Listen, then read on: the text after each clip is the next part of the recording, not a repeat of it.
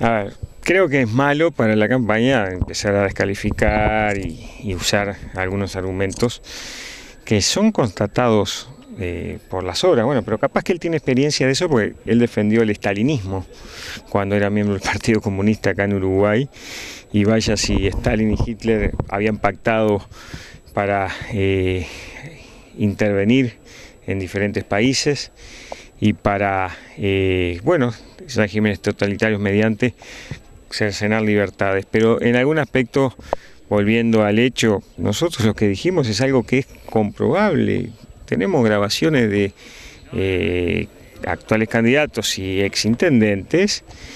que en Valentines, lo dijo la gente, por ejemplo, cuando eh, nosotros inauguramos la luz y hay testimonios, aludían directamente a comentarios que nos llegaron a nosotros por cierto desprecio que había en la intervención en obras allí y en otros puntos, Montecoral,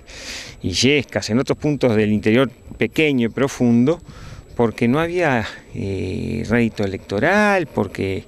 no había un componente político afín supuestamente a esa fuerza política y no creo que sea motivo de mayor ofensa.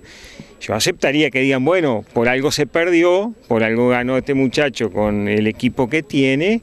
y haya una mínima autocrítica para decir, bueno, no, vamos a hacer obras en el interior.